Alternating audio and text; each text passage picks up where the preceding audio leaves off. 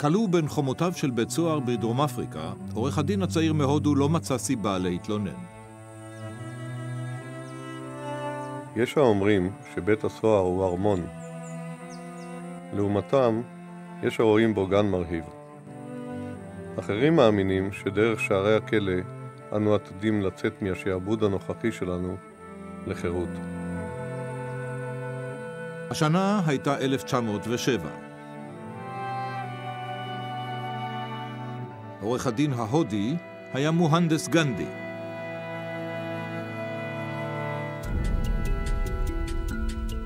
במשך שמונה שנים הוביל גנדי את רעיו ההודים במאבק בלתי אלים נגד דיכוי על רקע גזעי. הם צעדו לתוך שטח אסור. הם שרפו את מסמכי הרישום שלהם. הם ציפו להיעצר, ואומנם לא התאכזבו. גנדי אמר, הדרך להביס את אי הצדק היא סירוב בלתי אלים לשיתוף פעולה עמו. הוא קרא לנשק אי האלימות בשם סטיאגרהה. דבקות באמת.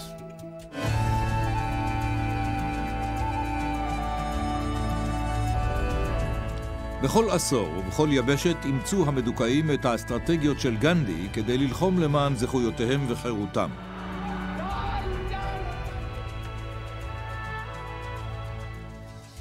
אי אלימות פירושה השבת מלחמה, אבל משיבים מלחמה בכלי נשק אחרים. הכוח שגילה גנדי שינה את פני המאה העשרים.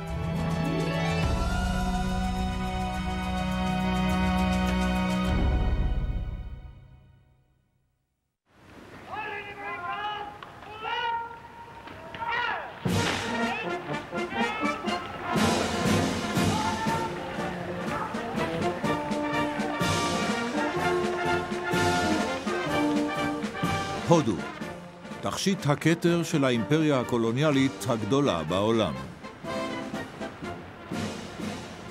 בריטניה שלטה בהודו במשך יותר ממאה שנים. אך בשנת 1930 הבין המשנה למלך, לורד אירווין, כי משבר מתרגש ובא, עימות שבו כוחו של הצבא הבריטי לא יעמוד לו. יריבו של אירווין הוא מוהנדס גנדי, האיש ששמו הפך מילה נרדפת לפעולה בלתי אלימה כבר 30 שנה לפני השביתות של נשוויל. מאז שחזר מדרום אפריקה, הפך גנדי לדמות הפוליטית המובילה בארצו. הוא מבין שהשליטה בהודו מותנית בשיתוף פעולה מצד ההודים, ולא בכפייה מצד הבריטים. איך זה שדי במאה אלף חיילים בריטים כדי לשלוט באוכלוסייה של, באותה תקופה, למעלה מ-350 מיליון הודים? רק מאה אלף חיילים בריטים. גנדי אמר, נחדול מלעשות מה שהבריטים רוצים שנעשה. האומה כולה תעמוד דום. אי ציות אזרחי בקנה מידה המוני. הודים רבים מקדמים בברכה את המאבק. על גנדי למצוא דרך לתעל את האנרגיה שלהם להשפעה מרבית. גנדי פורש למפקדה שלו שעל נהר סברמטי, סמוך לחוף המערבי של הודו. באשרם שלו, הקהילה הרוחנית שבה הוא מתגורר ומתבונן פנימה בחיפוש אחרי אסטרטגיה בלתי אלימה שתוביל לחירות. שבועות הוא מתבודד במשרדו הנזירי. הוא לא מגלה ולו ברמז את מחשבותיו. הם אפילו רמזו שגנדי... נריין דסאי התגורר באשרם של גנדי באותם שבועות מכריעים. היו שאמרו, או, oh, הוא אדם חכם מאוד. הוא אינו רוצה שהממשלה הבריטית תגלה באיזה אסטרטגיה הוא מתכוון לנקוט. והוא היה אומר כל הזמן, לא, אני רק מחכה, מחכה לקריאה. אני יודע שאשמע את הקול הפנימי.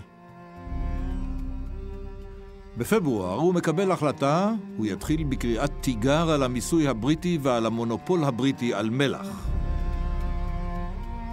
הוא כותב למשנה למלך, הלורד אירווין, בשניים במרס. הוא מסביר את אי הצדק שבחוקי המלח ואומר שהוא מתעתד להפיק מלח באופן בלתי חוקי בחוף הים.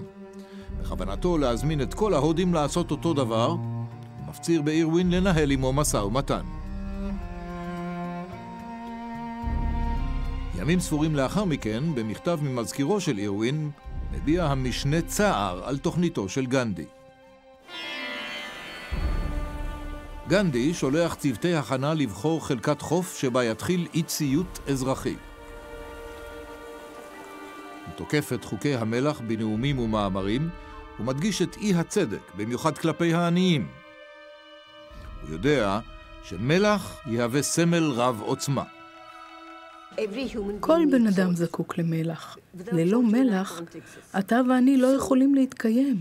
אם כך, הוא רצה לגעת בליבו של כל הודי ולומר, כאן יש משהו שאתה ואני וכולנו צריכים. מדוע דווקא על זה מטילים מס? בזכות חוש חריף לתיאטרון פוליטי, גנדי מסרטט דרך מהאשרם שלו אל הים. יחד עם מתנדבים הוא יצעד 240 מילין שהם 390 קילומטרים. הוא מאמין שהמסע שיארך כמעט חודש יגדיל את המתח ויפיץ את המסר שלו בקרב קהל גדול יותר. הוא מצפה להיעצר לפני שיגיע לחוף. עם אור ראשון בבוקר ה-12 במרס, הדרמה הגדולה מתחילה.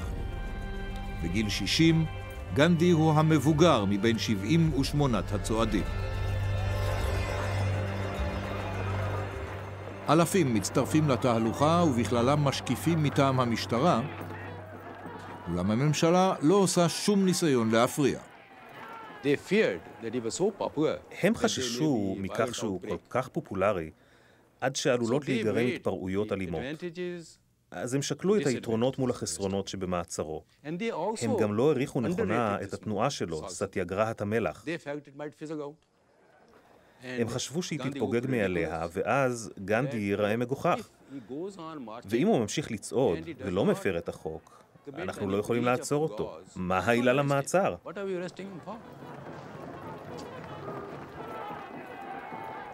גנדי רוצה להיעצר, אך לא מוקדם מדי. ככל שהוא צועד, הוא מקבל יותר פרסום. המסרים שלו מיועדים הן לקהל המיידי, ובאותה מידה לעולם החיצוני, המיוצג בידי עשרות עיתונאים שהצטרפו לצעדה. בנאומיו הוא מתעקש. אל לנו לשנוא את הבריטים, הם לא לקחו את הודו מאיתנו, אנו נתנו להם אותה.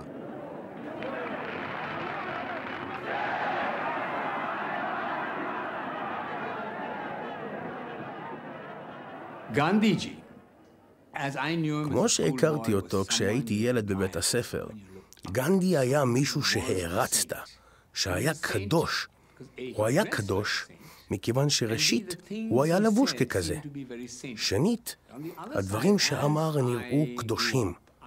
מצד שני, כשגדלתי, התחלתי לראות סטודנט ממולח להיסטוריה האנושית. אדם שהבין לחלוטין את הפסיכולוגיה האנושית. הוא הבין את המושג הבריטי של משחק הוגן. הוא הבין זאת, והוא ידע איך לפרוט על הרגש הזה.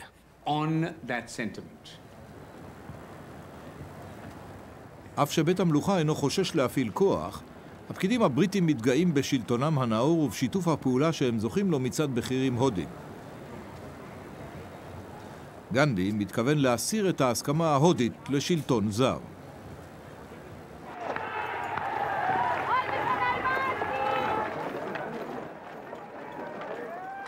מצעד המלח ייצור דילמה. אם הבריטים יעצרו אותו, הודו כולה תתקומם. אם הוא יורשה להפר את החוק בגלוי, השליטה הבריטית תאבד, אולי לתמיד.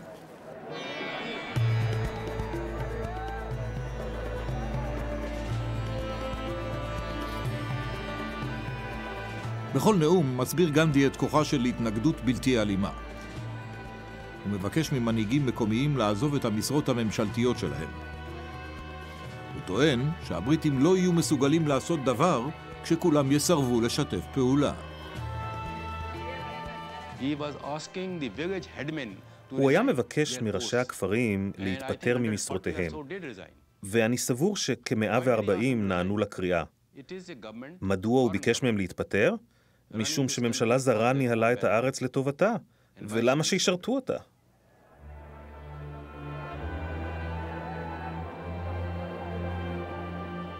גנדי דבק בלוח הזמנים שלו ומפריך שמועות בדבר בריאותו הרופפת. בכל עצירת מנוחה הוא שואל כמה פקידים מקומיים עזבו את משרותיהם הממשלתיות? כמה כפריים לובשים קאדי? זהו בד הכותנה, תוצרת יד, המהווה תלבושת בלתי רשמית של תנועתו. גנדי אומר להודים לא לקנות בדים מיובאים. במשך שעתיים בכל יום הוא תובע כותנה על מנת להמחיש את מיליוני המשרות שעבדו בגין יבוא הבדים הבריטיים. גנדי אומר, אם כל הודי יתווה באותו זמן, שירת גלגלי התביעה תהפוך לשיר חירות. הוא מסתדר עם ארבע שעות שינה. עליו לשכנע אלפי מתנדבים להיעצר ולהיקלע שאם לא כן, הצעדה תסתיים בכישלון. היה זה אדם שהבין איך להשיג חשיפה מקסימלית למסר שלו, ובמובן זה ניתן לומר, הוא היה אחד מאנשי הפרסום, אני שונא את המונח הזה, לכן במרכאות, הגדולים ביותר של הודו. וכשהוא צעד, הרבה לפני הצעדה של מרטין לותר קינג לוושינגטון, גנדי ג'י היה המקור לזה. כשהוא צעד, אנשים החלו להפיץ את השמועה. הוא בצעדה, הוא הולך לצאת נגד החוק. בואו נצטרף אליו. זוהי ההזדמנות להראות לבריטים, מבלי שנצטרך להכות בהם, להראות להם שאנו נחושים לעמוד על שלנו. אנו לא סתם עבדים. ושכה יעזור לי האל, אפילו אני, שהייתי רק נער בבית ספר באותו זמן. אני אומר לך, שערי סמר כשהבנתי שהוא התקרב לאט לאט למטרה, וכולנו ידענו שברגע שהוא יאסוף חופן מלח, הוא ייעצר.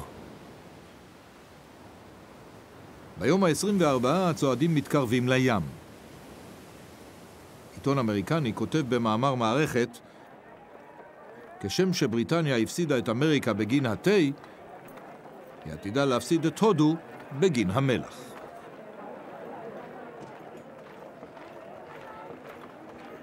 בערב הפרת החוק, גנדי נפגש על החוף עם 12 אלף תומכים. החזיקו את המלח באגרופיכם, הוא אומר, וחישבו, זה שווה 60 מיליון רופי.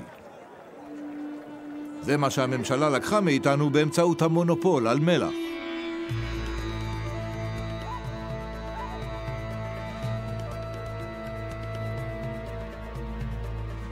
בשחרית השישה באפריל, גנדי מתכופף ואוסף גוש בוץ ומלח.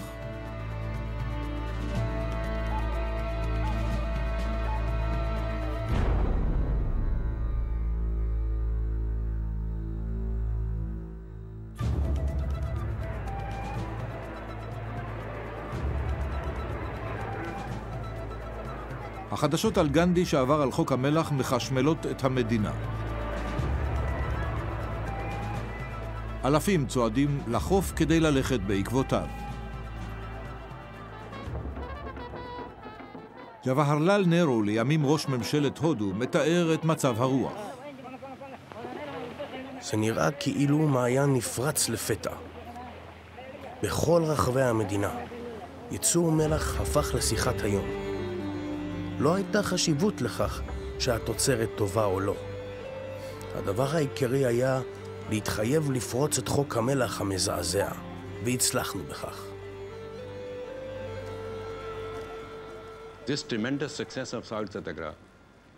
ההצלחה האדירה הזו של סטיאגרהת המלח, הבריטים לא ציפו לה. היו הרבה ספקנים שחשבו, סטיאגרהת מלח? מה? אי אפשר להדיח את הקיסר באמצעות הרתחת מי ים בקומקום. אז זו הייתה ההנחה. אבל במאבק בלתי אלים, חזון המנהיג חשוב, אתה מבין? מה יגייס את האנשים? מה יגרום להם להרגיש שיש להם מטרה להילחם למענה? מה יגרום להם להילחם באופן בלתי אלים? כשהתנועה שלו מקיפה את המדינה, גנדי מופתע מכך שלא נעצר. בעת שהוא מבקר כפרים השוכנים לחוף הים, הוא מעודד אי ציות אזרחי, אשר יהיה רק התחלה לדבריו. היום אנו מביסים את חוק המלח, מחר נשלח חוקים אחרים לפח האשפה. נבצע אי שיתוף פעולה כזה, אשר בסופו של דבר לא יאפשר לממשל הבריטי להתנהל. כשאתה בלתי אלים, איך מטפלים בך? איך מתמודדים עם האתגרים שאתה מציב? לכל היותר, ביכולתנו לכלוא אותך, ואם נכלא אותך שוב, תהפוך פופולרי יותר. אי אפשר. איננו יכולים להשתמש בנשק כנגדך. איננו יכולים להפעיל אלימות כלפיך. אז הנה אדם שפיתח טכניקה שמביסה את הבריטים. מהממשל בניו דלי, לורד ארווין מטלגרף ללונדון. ההשפעה האישית של גנדי מאיימת להביך את המנהל, ובמקומות מסוימים הוא כבר ערער על הסמכות הממשלתית. המפקדה של גנדי נמצאת על החוף. חודש לאחר שאסף את חופן המלח הראשון, מודיע גנדי על הסלמה. הוא ומתנדביו השתלטו על מתקני המלח הממשלתיים בעיר הסמוכה דרסנה. סמוך לחצות בארבעה במאי הוא כותב ללורד ארווין ומציע שלוש דרכים לעצור את ההשתלטות על עבודות המלח. סיים את מס המלח, הכנס את הקבוצה הפולשת למעצר, או שבור את ראשיהם. הוא מסיים את המכתב ופורש לשנתו.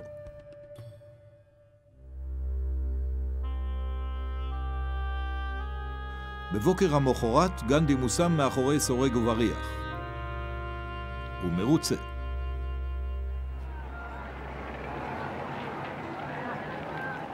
המעצר מדליק תבערה.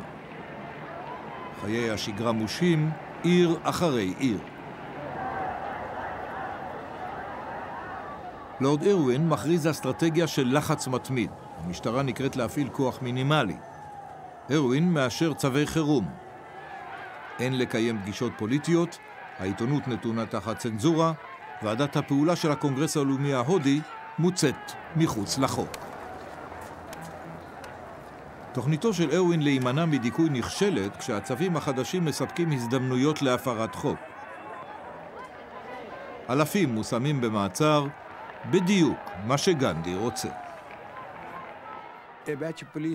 קבוצה של שוטרים הגיעה לאסור את אבי. וכמה מאיתנו, הילדים הצעירים, רצו אחרי הרכב המשטרתי. במקום לומר ביי ביי אבא או משהו כזה, אמרתי לו, אבא, הפעם לא פחות משנתיים. זאת אומרת, אני רוצה שתהיה בכלא לא פחות משנתיים. אתה מבין? זו הייתה גאווה שאביך נשפט לשנתיים ולא לשלושה חודשים. כך שאתה רואה שבאווירה הזאת, הרעיון של גנדי נגע אפילו בילדים.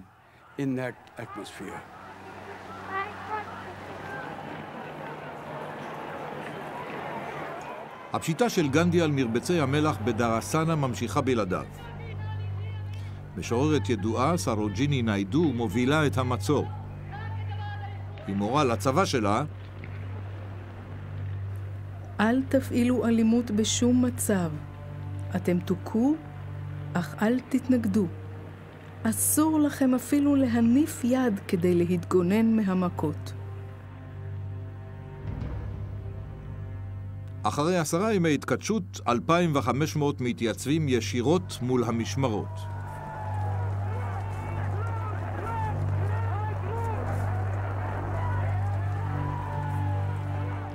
המשטרה תוקפת את הסטיאגרהים עם עלות שבקצותיהן פלדה, הקרויות לטיס. כתב יונייטד פרס, ווב מילר, חזה בסצנה. הם נפלו בזה אחר זה. שמעתי את החבטות המחליאות של עלות על גולגלות בלתי מוגנות. אלה שנחבטו נפלו מתפתלים, חסרי הכרה או מתעוותים בכאב, עם שברים בגולגולת או כתפיים שבורות. הדיווח של מילר פורסם בכמעט אלפיים עיתונים והוקרא בקול רם בסנאט האמריקני. סטיאגרהי אחד הסביר. מטרתנו הייתה להראות לעולם כולו את ניביה וטרפיה של הממשלה בכל כיעורה ואכזריותה, ובכך הצלחנו מעל ומעבר למשוער.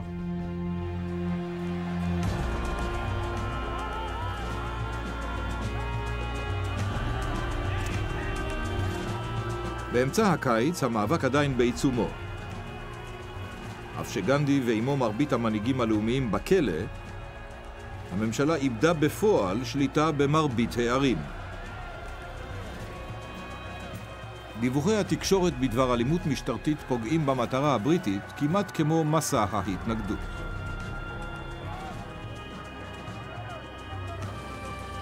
ארווין מטלגרף למושל בומביי. אני משוכנע שאיומי הלאתי הם בדיוק מה שאויבינו מעוניינים בו. עלינו לאמץ את מוחנו כדי למצוא דרך לשלול מהם יתרון זה.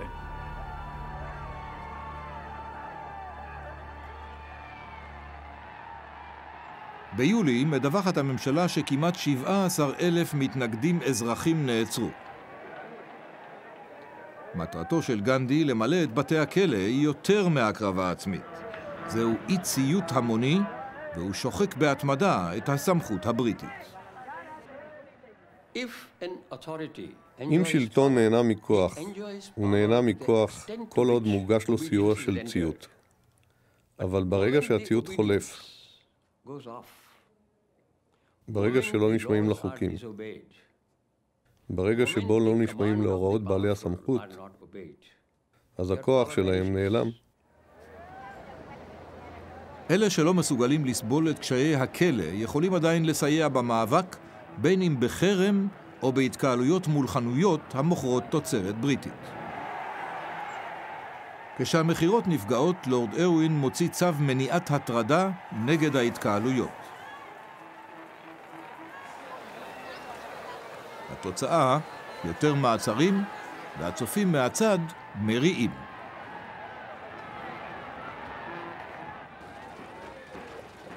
המסחר הבריטי עם הודו נופל ב-25% ובדצמבר שלוש מכל ארבע חנויות המשווקות בדים מיובאים נסגרות. בינואר, ראש הממשלה הבריטי ריימזי מקדונלד מבין כי משא ומתן הוא הדרך היחידה לסיים את המצב. הוא מורה לשחרר את גנדי ומנהיגים נוספים. התנועה הלאומית נותרת חזקה כשחוגגים את שחרורו של גנדי. אבל המפקד יודע שחיילי השטח שלו זקוקים למנוחה. ב-14 בפברואר הוא מודיע ללורד ארווין שהוא מוכן למשא ומתן. הוא מתעקש שייצור מלח וחרמות ימשיכו במהלך השיחות. בארמון המשנה למלך בניו דלהי גנדי הוא ההודי הראשון בהיסטוריה להיפגש עם שליט בריטי כשווה אל שווה. המשא ומתן נמשך שלושה שבועות. ארווין מסרב לוותר בנושא חוקי המלח ויבוא הבדים, פשרות אשר ירחיקו את משתפי הפעולה ההודים שלו. גנדי מחלץ הבטחה לשחרור אסירים פוליטיים ולהסרה של צווים מדכאים. קורא להפסקת אי-הציות האזרחי. נושאים חוקתיים נדחים לשיחות מאוחרות יותר בלונדון.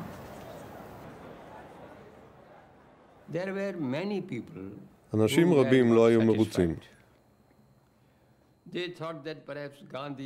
הם סברו שגנדי יתפשר ואולי אף סטה מדרכו. אולם הטיעון של גנדי תמיד היה שהתנועה הזאת איננה לשווא. מכיוון שרק באמצעות תנועות מסוג זה הוא אימן אנשים שאי אפשר להשיג הכל במכה אחת. אתה מתפשר, אוסף את כוחותיך, מתאמן, ואז ממשיך לצעד הבא.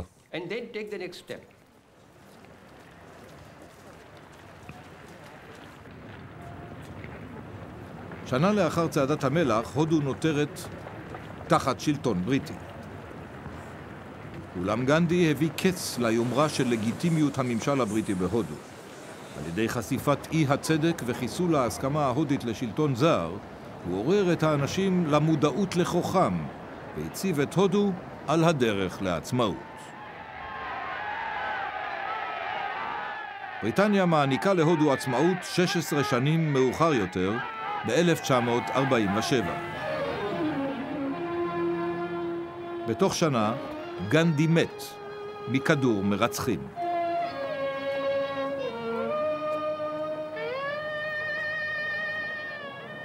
הרבה מעבר להישגיו בהודו, החזון שלו והניהול של עימות לא אלים הציבו דוגמה בפני דורות העתיד.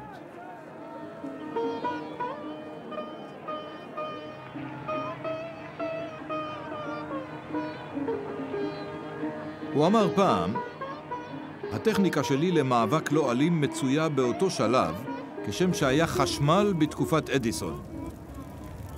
יש לפתח וללטש אותה.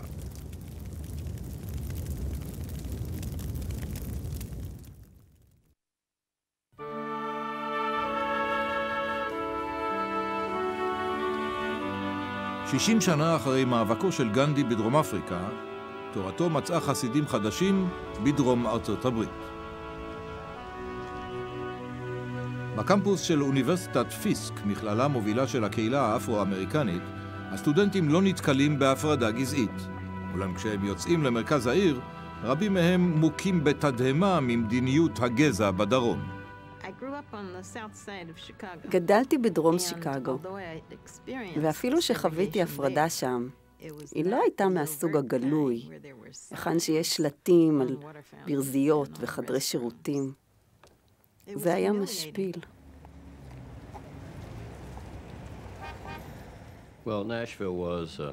נשוויל הייתה עיר מפורדת לחלוטין. כאילו הייתה זו יוהנסבורג בשיא האפרטהייד. זו הייתה עיר של שני גזעים. כמעט שלא היה שום מגע בין הקהילה הלבנה והקהילה השחורה. בבתי הספר, בשכונות, במקומות העבודה, בכנסייה. נשוויל הייתה עיר מפורדת לגמרי ולחלוטין. ורוב הזמן אנשים היו מרוצים מהמצב.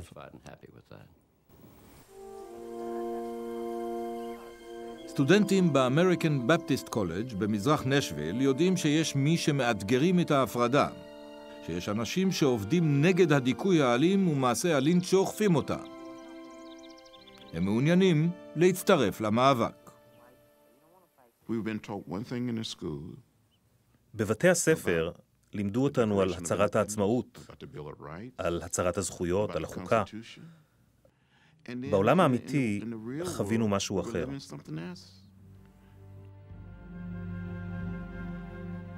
ג'יימס לוסון, כומר מתודיסטי ממדינת אוהיו, נתן לסטודנטים מנשוויל הזדמנות להשתתף.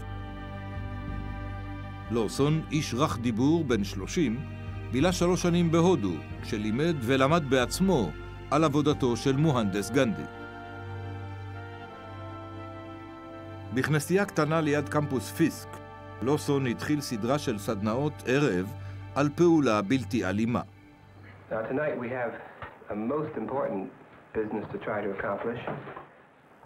ג'ים לוסון נראה רגוע. היעד שלו עוצר נשימה, לחסל את ההפרדה. הכיתות שלו מושכות את התלמידים המבריקים ביותר בנשוויל. was taken out by the KKK and beaten on a tree, tied to a tree, beaten by chains and whatnot. חשבתי בהתחלה שאי אלימות לא תעבוד, אבל נשארתי בסדנאות מסיבה אחת, לא היה משהו אחר בעיר. זו הייתה הקבוצה היחידה שידעתי עליה, שלפחות ניסתה לעשות משהו כדי להילחם בהפרדה. ג'ים לוסון קיבל עידוד לבוא לדרום ממרטין לותר קינג ג'וניור, שטוען שהתנועה לזכויות האזרח זקוקה למנהיגים המבינים אסטרטגיה וטקטיקות אי אלימות. Then others said, yes, but the man who's going to die has a right to pray any way he wants to pray. And this immediately started a division among them. העברנו לכל הקבוצה הסתכלות הוליסטית על אי אלימות, ההיסטוריה שלה, שורשיה בתנ"ך, שורשיה בחשיבה הנוצרית, המתודות של אי אלימות, סיפרנו סיפורים של אי אלימות. ואני הדגשתי את הרעיון של גנדי, על פיו אנו לוקחים חלק בניסוי. It may have much more meaning to the attacker if, as he strikes you on the cheek, you're looking him in the eyes. לרוע המזל, עבור רבים הרעיון של אי אלימות משמעו להושיט את הלחי השנייה אחרי שנפגעים, לא לעשות דבר. אבל אי אלימות פירושה להילחם בחזרה. אבל אתה נלחם בחזרה עם מטרה אחרת, וכלי נשק אחרים. קודם כל, המטרה שלך היא לשכנע את היריב, וזה כן קרב. זה מאבק מאתגר הרבה יותר מקרב אגרופים. Okay. Peggy? If I was being beaten, what is it that I would um, be able to do?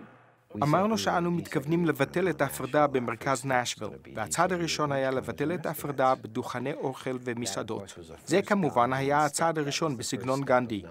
הצעד הראשון של אי אלימות, לחקור ולבדוק, להתמקד בנושא, לבחור מטרה, לבחור נושא. חודשים לפני שהם יוצאים לאולמות האוכל, לוסון מתחיל להכין אותם.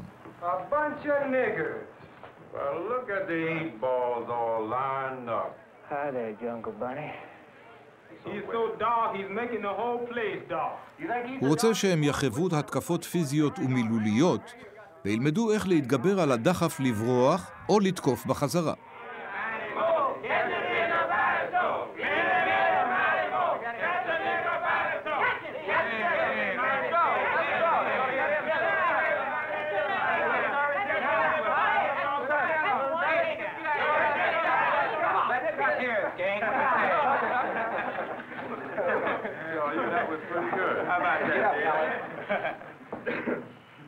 Now let's see what we've learned from this to us as to how uh, we might act non-violently. What are the basic problems here so far? You cannot go on a demonstration. אתה לא יכול להמשיך בהפגנה עם 25 אנשים שעושים מה שבא להם.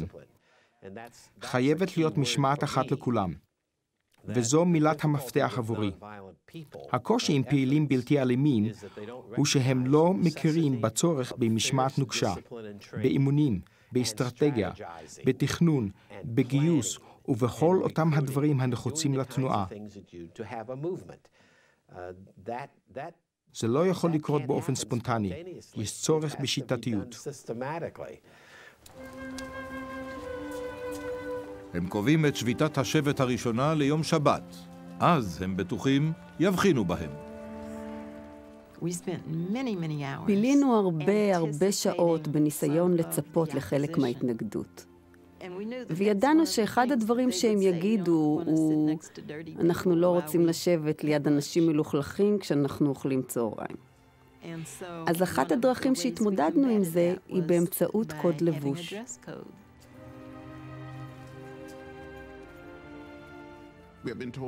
נאמר לנו שהייתה אפשרות שנעצר, אבל הלכנו לדוכן האוכל, התיישבנו, וישבנו, וישבנו, בצורה מאוד מסודרת ושלווה. הם אינם מופתעים כשמסרבים לתת להם שירות.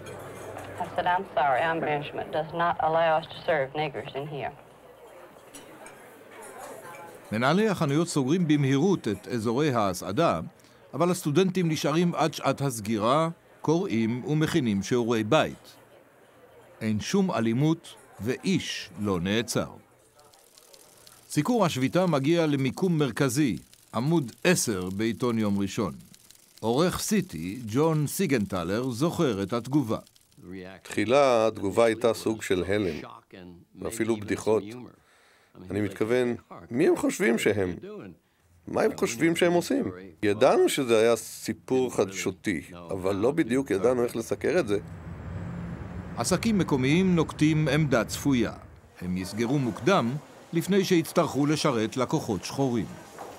שבוע מאוחר יותר הסטודנטים שווים. הם מעוררים סקרנות וגילויי אלימות מילולית, אך ללא מעצרים.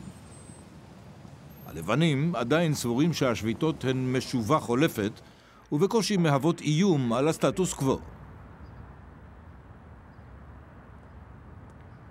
בשבת השלישית הם מוכנים להעמיד כמטרה שש חנויות. Let each person now get himself or herself a partner that they will stick with. Now, we don't want a white person with a Negro of the opposite sex, because we don't want to fight that battle. We were told in advance. נאמר לנו מראש, באותו יום, שהם מתכוונים להרשות לבריונים להרביץ לנו, ואז השוטרים יעצרו אותנו. כך שהיינו צריכים להתכונן להיות מוכים ועצורים. בתנאים האלה הלכנו. עכשיו הם כבר מוכנים לבלתי צפוי. כל קבוצה כללה מנהיג ומשקיפים שיצלצלו לדווח בחזרה לכנסייה. המשקיפים נשאו מספרי טלפון של שירותי אמבולנסים וכסף קטן לטלפונים ציבוריים. כשהם נכנסים לחנויות, הגלים השני והשלישי של מפגינים נשארים מחוץ לטווח הראייה, נכונים לזוז כשהקבוצה הראשונה תיעצר. כצפוי, המשטרה לא מתערבת ב-15 הדקות הראשונות.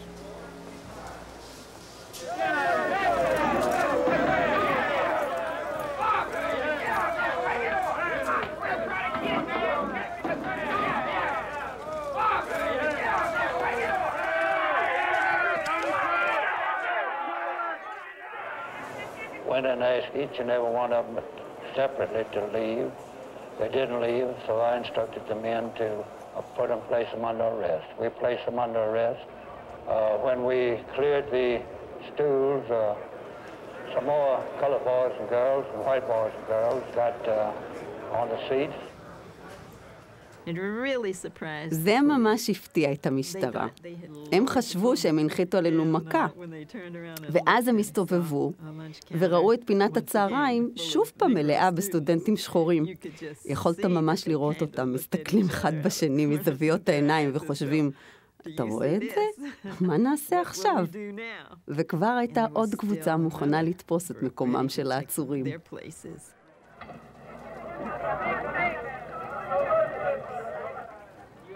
Jail. I'm joking. Man, what my mother gonna say when she hear about that? We had a philosophy. הייתה לנו פילוסופיה. הכוח של אי אלימות. חשנו שהכוח הזה חזק יותר מכל הכוח המשטרתי שלהם, כל המחוקקים שלהם וכל הכלבים שלהם. העלות ובתי הסוהר. והרגשנו שהיכולת והנכונות שלנו לסבול גברה על כל כוח שהיה להם.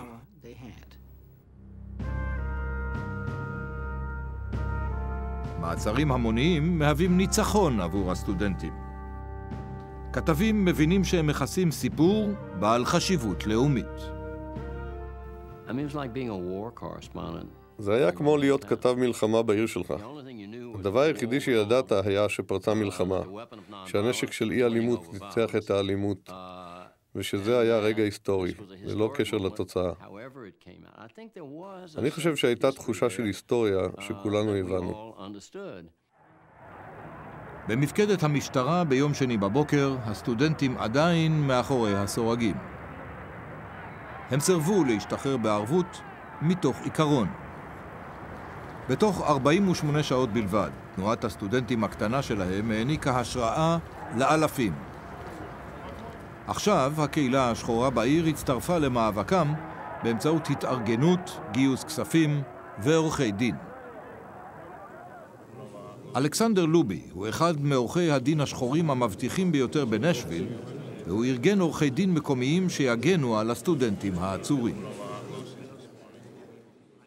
אנשים לא האמינו שהצעירים האלה, הלבושים יפה, סטודנטים תמימים מהקולג', נעצרו והושמו בבית הסוהר. הם לא אהבו את זה. והעיר, כל האוכלוסייה האפריקאית-אמריקאית, התגייסה בכזה אופן שהתנועה התפשטה בנשוויל כמו אש. כשהקהל מצפה לראות מה תעשה העיר, ראש העיר מדבר אל הכתבים. Anyone violating the law will be arrested. This must be so. בכך שהדגיש חוק וסדר, ראש העיר עומד לצידם של בעלי החנויות. למעשה, הסטודנטים העצורים לא הפרו שום חוק, ואיש מתוקפיהם הלבנים לא נעצר. The city and police העיר והמשטרה לא היו מוכנים כראוי לאי ציות אזרחי המוני. הם ציפו שברגע שיתחילו האלימות והמעצרים, התנועה תתפזר ותגורש. כי אחרי הכל, זו מטרת האלימות, זו מטרת המעצרים. הם מקווים שמה שזה לא יהיה, זה ייעלם. זה יהיה הסוף. זה לא קרה. שבוע אחרי כן, דבר לא משתנה. כשהסטודנטים שבים לדוכני הצהריים, לעיר יש תשובה אחת בלבד, עוד מעצרים.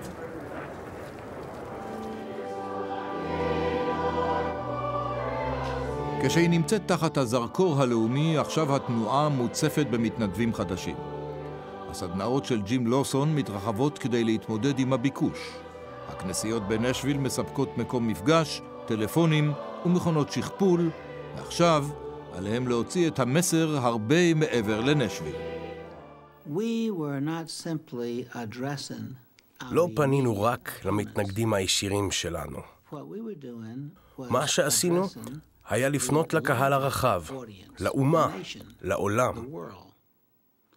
מכיוון שהאסטרטגיה של אי-אלימות היא לחנך מספר גדול של קהלים ולהעביר אותם לצד שלך. כאפריקאים, אמריקאים, היינו מיעוט. אך למעשה, שום שינוי לא יכול להתרחש ללא סימפתיה, או אפילו השתתפות פעילה מצד הרוב. הסטודנטים יודעים שסימפתיה לבדה לא מספיקה. הם מנצלים את היתרון של הזעם שמעצרם עורר ומסלימים את המאבק. השביתות ממשיכות, אך טקטיקה חדשה נוספת, חרם על אזור החנויות במרכז העיר. השופטים מבקשים מהצרכנים לא לקנות בחנויות שדוכני הצהריים שלהן מופרדים.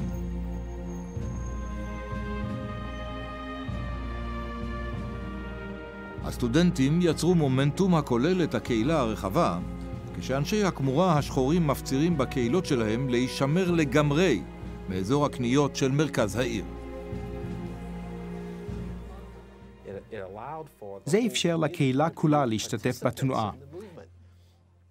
בגלל שאחד הדברים שאנו תמיד מלמדים הוא שכל אחד יכול להשתתף בתנועה אי אלימה.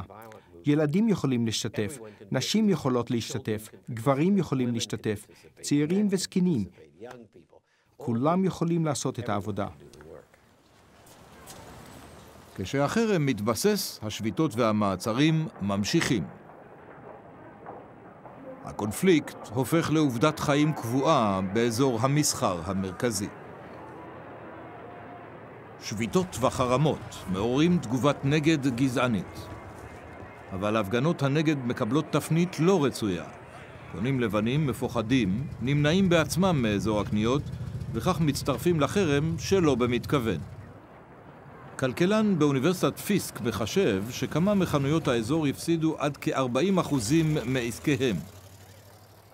כשחג הפסחה מתקרב, פרץ הקניות של האביב לא מתרחש. בקרב השחורים, ההשתתפות בחרם מוערכת ב-98 אחוזים. זה היה מסר רב עוצמה שנשלח לקהילה הלבנה.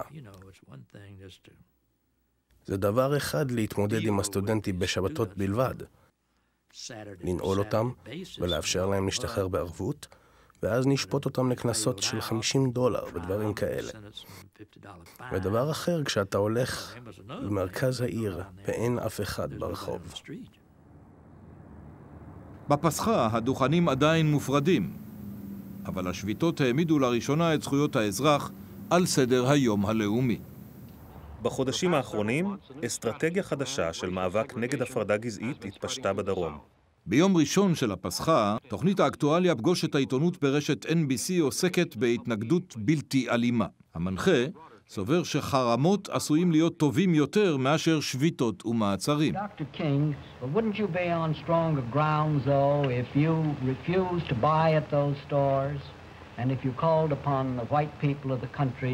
Uh, to follow you because of both your moral and your legal right not to buy, I think, Mr. Spivak, sometimes it is necessary to dramatize an issue because many people are not aware of what's happening. And I think the sit-ins serve to dramatize the indignities and the injustices and the dissatisfaction of the Negro with the whole system of segregation.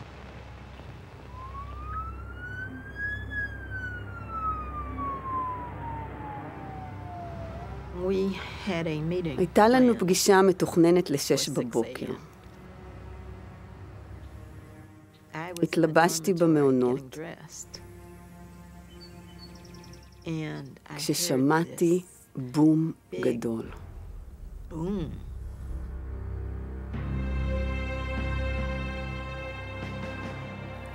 די מהר הבנתי שביתו של עורך דין אלכסנדר לובי פוצץ.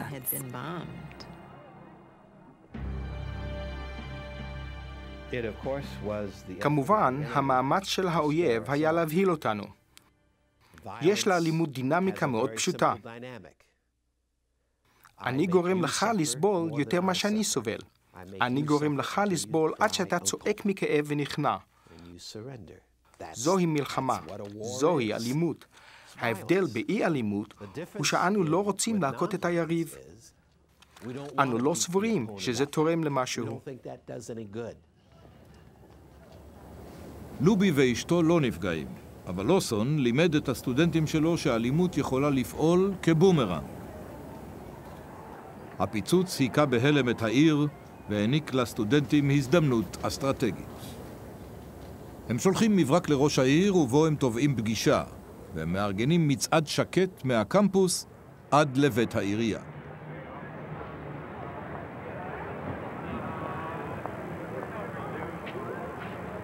הם מתחילים עם 1,500 צועדים. לאורך הדרך המספר הזה מוכפל.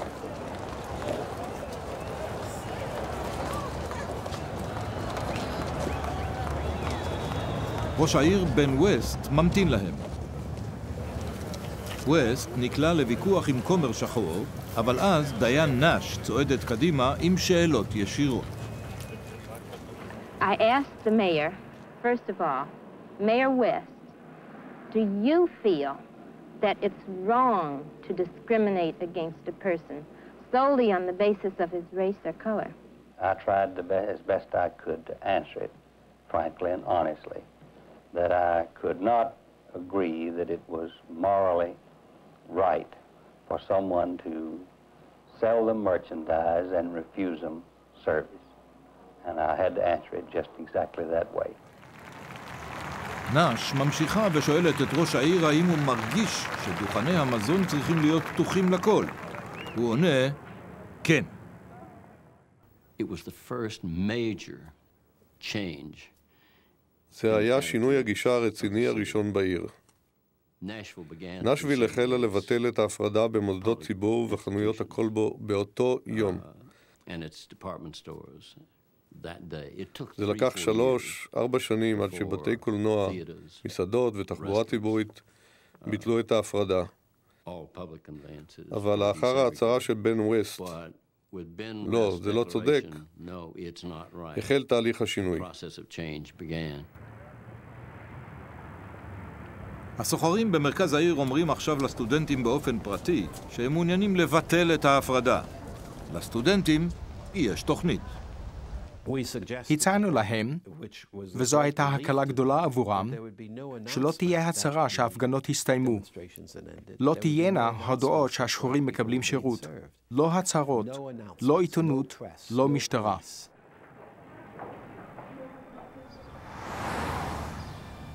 תנועה שהחלה במרתף כנסייה קטנה בספטמבר, ביטלה את ההפרדה בחדרי האוכל במרכז העיר עד לאביב.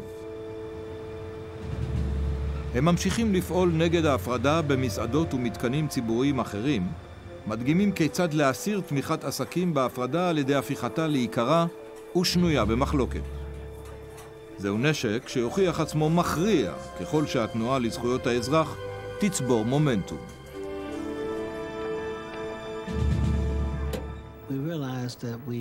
קלטנו שהיו לנו המשאבים, הן משאבים רוחניים והן מיומנויות פסיכולוגיות, כדי לעורר שינוי גם במקומות אחרים. הבנו איך לארגן את הקהילה, איך לערוך הפגנה, איך לנהל משא ומתן, איך להתמודד עם התקשורת. במובן זה, היינו לוחמים, עברנו הכשרה. זה היה כמו אקדמיה לאי אלימות, המקבילה לאקדמיה הצבאית ווסט פוינט.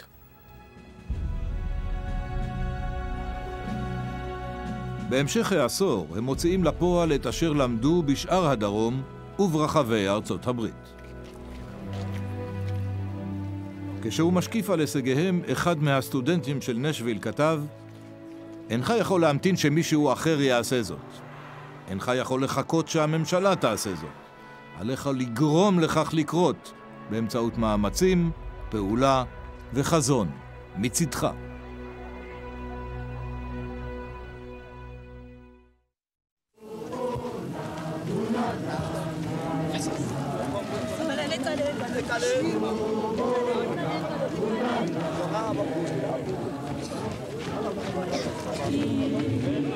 בכל סוף שבוע הם קוברים את מתיהם.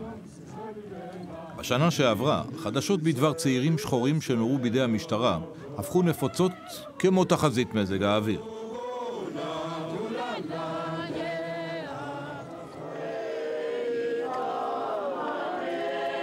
קראו לזה התקוממות. מיליוני דרום אפריקאים שחורים החריפו את מאבקם לשוויון סיום מדיניות האפליה הקרויה אפרטהייד.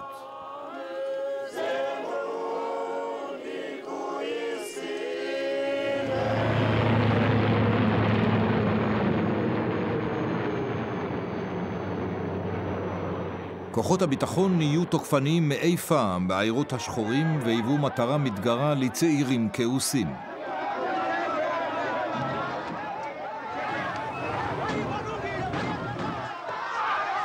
אפילו עוברים ושבים תמימים נתפסים במעגל הדמים של האלימות הגואה.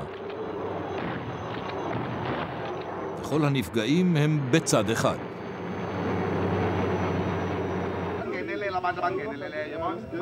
דור חדש של מנהיגים מהעיירות מזועזע משפיכות הדמים, והם מתארגנים ומחפשים דרכים יעילות יותר להשיב מלחמה.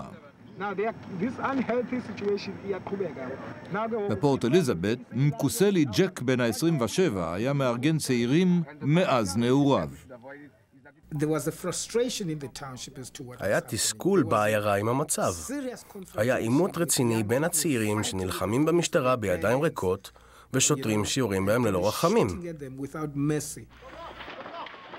ואז אמרנו, בואו נחשוף את השוטרים האלה. נראה מי הם באמת. בואו ניקח את המאבק מהעיירות השחורות לשכונות הלבנות.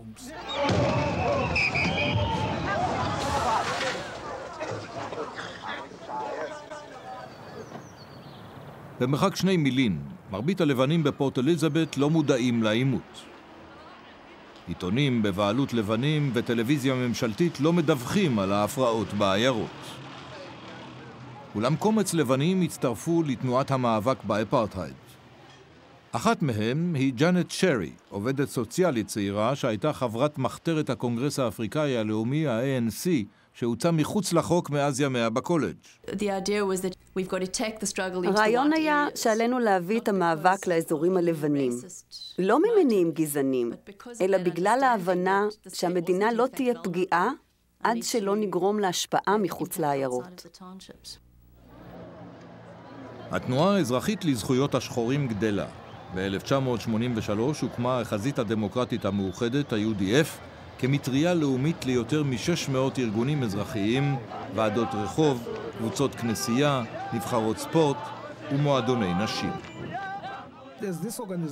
ככל שהארגון גדל וגדל וגדל, היה קשה יותר ויותר לכוחות הביטחון לשבור את האנשים האלה. כי פתאום היו מרכזי התנגדות גדולים בתוך הקהילה. ואז, לאט לאט, כל אחד התחיל לכלול את עצמו במאבק לצדק, ולהבין את התפקיד שלו. במאי 1985, מספר נשים בגיל העמידה ניגשו למנהיגי הארגון האזרחי של השחורים בפורט אליזבת והציעו להם להחרים עסקים לבנים. לחרם צרכני יש הפוטנציאל להשיג את היעדים של מקוסלי ג'ק להפעיל בפעם הראשונה לחץ על הקהילה הלבנה.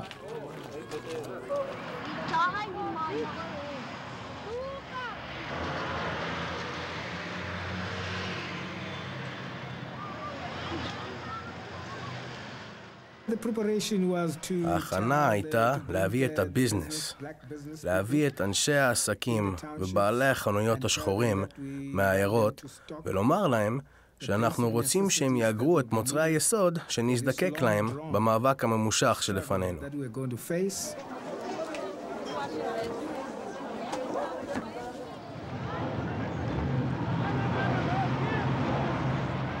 הלוויות שבועיות, ההתכנסות הפומבית היחידה שלא נאסרה על ידי הממשלה, הן ההזדמנות היחידה שלהם לצבור תמיכה ברעיון החרם.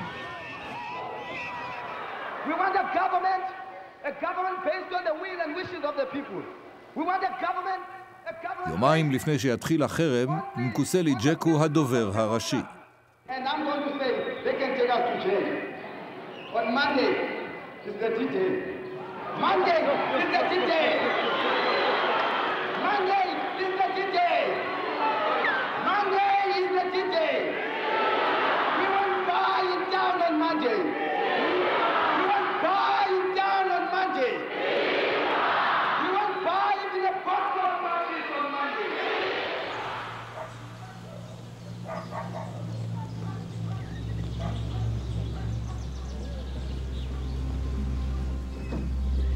בוקר זה נראה כמו כל בוקר אחר.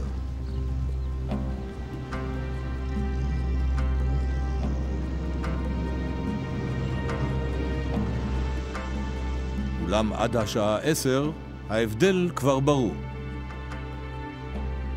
אזור הנורת' אנד, הקצה הצפוני שבדרך כלל הומה קונים שחורים, נטוש. משקיפים שנשלחו לעקוב אחרי החרם מדווחים על ציות של מאה אחוזים. החרם הוא הטקטיקה האחרונה בהתקוממות שנמשכת עשרה חודשים. אבל בחמישה ימים בלבד הוא הוכיח עצמו כנשק היעיל ביותר עד כה, זה מתפשט במקומות אחרים, איום אמיתי למשטר האפרטהייד. This state of affairs can no longer be tolerated. The government has, in terms of the Public Security Act, Act 3 of 1953, decided to proclaim a state of emergency in the following magisterial districts. Port Elizabeth, Albany, Utenake, Craddock, Kirkwood, Somerset East, Adelaide, Fort Beaufort, Bedford, Alexandria, מאז 1961 לא הוכרז מצב חירום. צבא דרום אפריקה כובש את העיירות. הנסיעה מוגבלת. עוצר מוטל בלילה וביום. מאות נאסרים.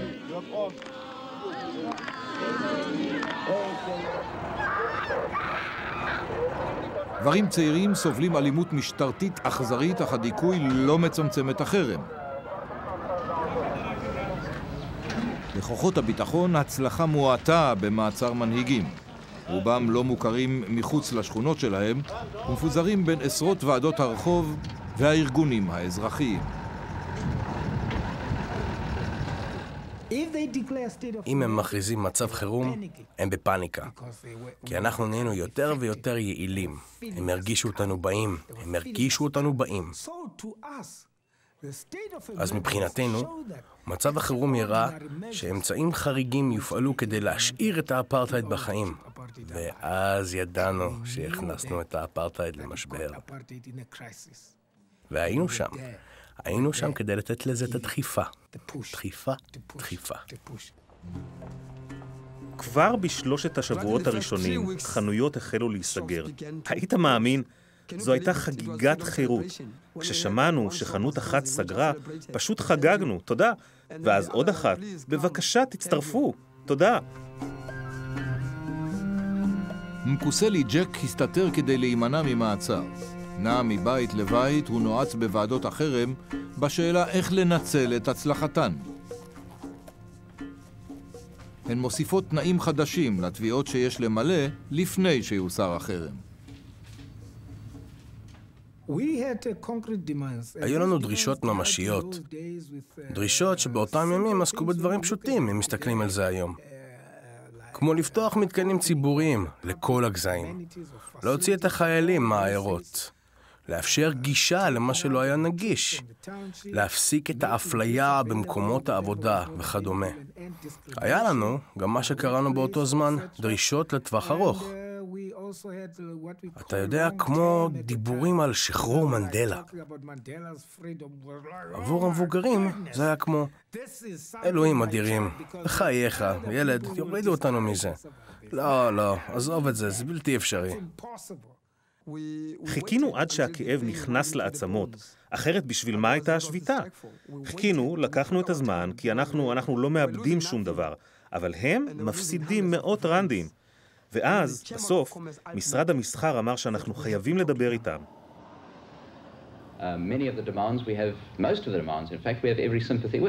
אחרי פגישה עם ג'ק ומנהיגי החרם, ראש לשכת המסחר פונה לכתבים. Uh, uh,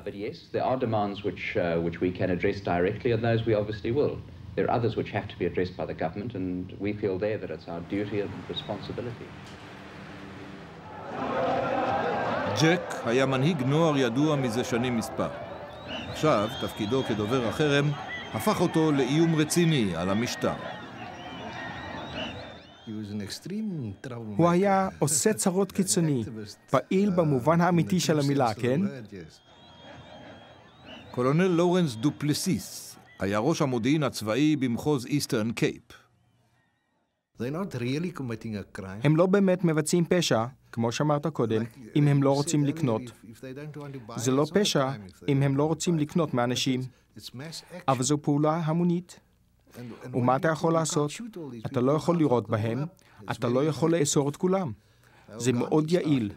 גנדי התחיל בזה, התנגדות פסיבית. כשכוחות הביטחון מבינים שהחרם איננו מתפרק, הם מחליטים לעשות מעשה.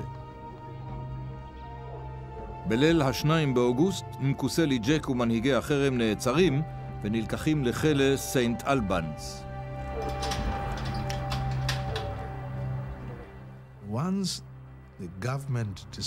ברגע שהממשלה החליטה לשים את כולם בכלא,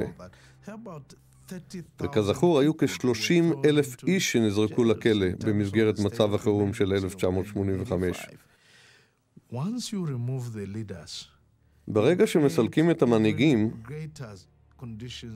יוצרים מצב של ייאוש גדול יותר ועלולים להגיע למהומות. ולמצב הזה הממשלה דחפה את דרום אפריקה. כעת התפרצויות ספונטניות של צעירים זועמים מסכנות את התנועה.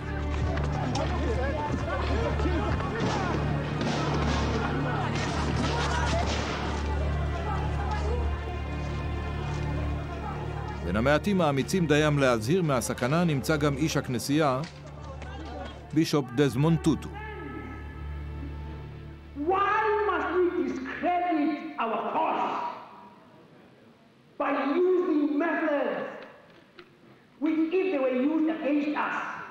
we would oppose.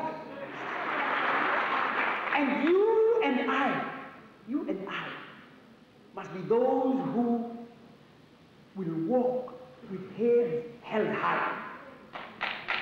We will say we used methods. We used methods which can stand the scrutiny, the harsh scrutiny of history. על ידי כך שהוא שומר את מקוסלי ג'ק ורעב מאחורי סורג ובריח, הממשל מונע משא ומתן שיכול לסיים את החרם הפוגעני. בספטמבר הסוחרים בפורט אליזבת נואשים. לג'ק לפתע יש בני ברית לבנים בעלי עוצמה. אתה מבין? יש עסקים מכובד, הולך ומחפש עכשיו אנשים שתוארו בתור חוליגנים ובריונים. ופתאום איש העסקים המכובד אומר, אלו מנהיגים עם תלונות לגיטימיות. אם הם ביצעו פשע, קחו אותם לבית משפט ותשפטו אותם, שיורשעו או שיזוכו. אי אפשר לכלוא אותם סתם ככה. החרם נכנס לחודש הרביעי. אלפי שחורים עדיין מתייצבים לעבודה בחנויות שבבעלות לבנה, אבל לא קונים שום דבר. אנשי עסקים לבנים רקחו עסקה. החרם יושעה אם אנשי העסקים יצליחו לארגן את שחרור המנהיגים השחורים. We were not intending to antagonize these white people, but our idea was just to drive our point home. And uh, you see, when we stop it, of course, also, it served two purposes. The pressure on our constituency to go and shop for Christmas was going to lead to some cracks within our own uh, ranks. So we hit two birds with one stone, saved those people, and also kept our unity intact for the next fight. עונת הקניות לחג המולד חוזרת לשגרה כשאנשי עסקים מתחילים במשא ומתן רציני עם ועדת החרם. מקוסלי ג'ק וחבריו הציבו תאריך יעד. אם הדרישות שלהם לא ייענו עד ה-31 במרס, החרם יושב על כנו. ההצלחות בטווח הקצר העניקו לשחורים בפורט אליזבת תחושת ביטחון. המנהיגים שלהם שוחררו מהכלא והיחידות הצבאיות נסוגו. אבל ככל שתאריך היעד התקרב ללא שום התקדמות בנושא הדרישות הפוליטיות המרכזיות, הם הכינו חרם חדש. באופן בלתי צפוי, ב-11 במרס הממשלה מנדה שני מנהיגים אזרחיים. אחד מהם הוא מקוסלי ג'ק. צו הנידוי הוא סוג של מעצר בית, אשר גורם לעצירה במשא ומתן. בשלב הזה הייתה עלייה בלחץ הבינלאומי, שחשפה את העובדה שזה כבר לא היה אפרטהייד קטן, אלא פשיזם מוחלט. בגלל שכמעט כל עיתון צונזר, כמעט כל אדם צונזר, ואם אתה זוכר, באותו זמן היו תאגידי ענק שברחו. אתה יודע, זה היה מביך. בארצות הברית ובאירופה דנים בסנקציות כלכליות נגד דרום אפריקה. מרבית הממשלות מתנגדות בטענה שסנקציות על המדינה יפגעו באנשים פשוטים יותר מאשר בממשלות. אולם עכשיו, כשדרום אפריקאים שחורים קוראים לממשלות מערביות להטיל סנקציות, מתחילה יציאת מצרים שאותה מובילים AT&T, IBM, General Electric, Ford, General Motors וקוקה קולה. ה-22 במרס, שופט בית משפט עליון מסיר את הנידוי מעל מקוסלי ג'ק באומרו שהממשלה נתנה סיבות לא מספיקות למעצרו. הניצחון מעניק אנרגיה חדשה לתנועה תשעה ימים בלבד לפני המועד המשוער של החרם מחדש. ג'ק קורע את צווי הנידוי שלו ומשתמש בחגיגה כדי לבסס את הסולידריות שהם יזדקקו לה בשבועות הבאים.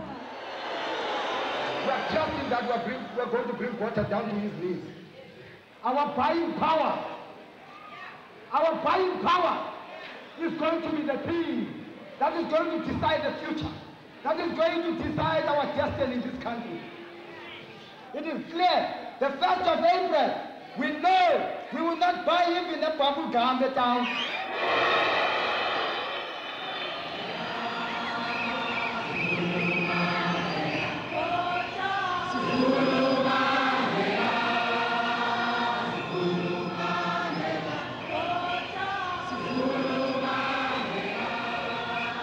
החרם תקף. הוא יימשך תשעה שבועות, ואז הלם.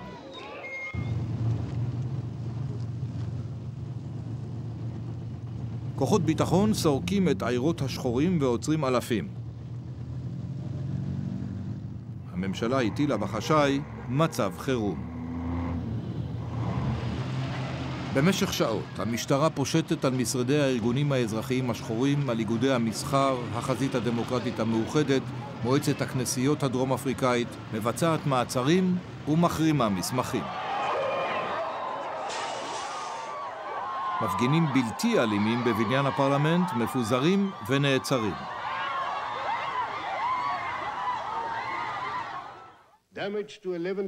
16 שעות אחרי שהתחילו באמצעים החמורים, הנשיא בוטה נושא דברים בפרלמנט. הוא מצטט דוחות מודיעין על האיום המתקרב של מהפכה אלימה מצד הקונגרס האפריקאי הלאומי והמפלגה הקומוניסטית. These revolutionaries are controlled by a power clique which is typical of Marxist regimes and which is interested only in a violent takeover of power. It is not possible for the reasonable majority to continue the research for a peaceful and democratic solution. זהו מצב החירום השני בתוך פחות משנה.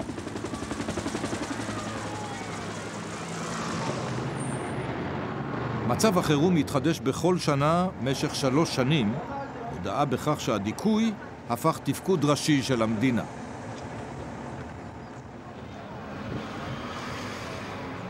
כוחות המתנגדים לאפרטהייד יורדים למחתרת, אך לא נהרסים.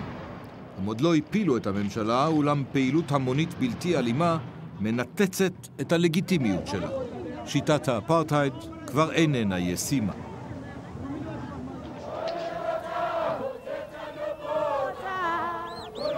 הכוח עבר לקהילות השחורות ולארגונים החברתיים שלהם.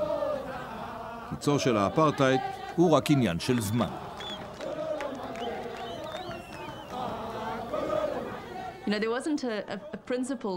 לא הייתה עמדה עקרונית נגד השימוש באלימות. למעשה, הקונגרס הלאומי האפריקאי נתפס כמי שמנהל מאבק מזוין. אך היו אלה למעשה פעולות החזית הדמוקרטית המאוחדת, שבאמצעות התארגנות ההמונים הביאה לשינוי בדרום אפריקה. באמת. זו ההתארגנות הזו שיצרה לחץ על המדינה להשתנות בסופו של דבר. אני מתכוונת שזה מה שגרם למבוי הסתום שבו המדינה לא הצליחה יותר להשיב. The eyes of the world are presently focused on all South Africans. F.W. דה קלרק ממונה לנשיא בסוף 1989 אחרי ש-P.W. בוטה נאלץ לפרוש. דה קלרק פועל במהירות, מסיר חרמות מעל ארגונים פוליטיים ומצווה על שחרור נלסון מנדלה, שהיה כלוא במשך 27 שנים. בכך שהוא סירב לגנות מאבק מזוין, מנדלה האריך את תקופת מאסרו בשנים. בזמן הזה הפסיביות שאפשרה לאפרטהייד להתקיים נדחקה הצידה. ואת מקומה תפסה רוח של חברה אזרחית בטוחה.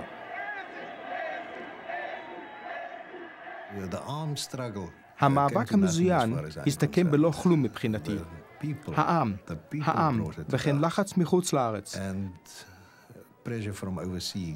זה מה שבאמת, בסוף, הבהיר לאנשים וגרם להם להבין שאנחנו לא יכולים להמשיך. בגלל זה, דה קלרק היה חייב לנקוט בפעולות שנקט.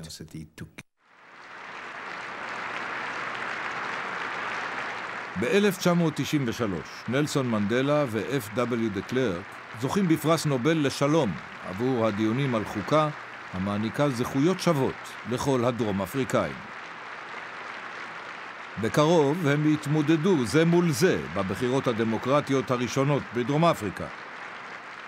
King of kings, kneeling before you, Father, appealing, asking for peace in the rest of the country. Lord of lords, kneeling before you, Father, appealing, asking for peace in the rest of the country.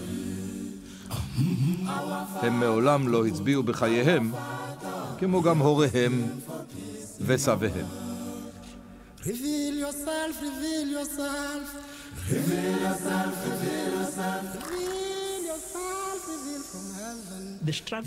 המאבק נגד האפרטהייד, נגד הגזענות בדרום אפריקה, היה בבסיסו בלתי אלים. קיבלנו השראה ממה שהתרחש בהודו, בפולין ובתנועה לזכויות האזרח בארצות הברית, מה שהתרחש בפיליפינים.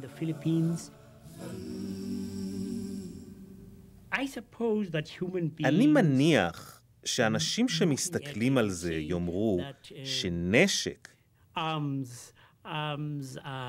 נשק. הוא הדבר המסוכן ביותר שמפניו צריך לחשוש הדיקטטור או העריץ. אבל למעשה, לא. רק כשאנשים מחליטים שהם רוצים להיות חופשיים, כשהם נחושים בדעתם, אין דבר שיעצור בעדם.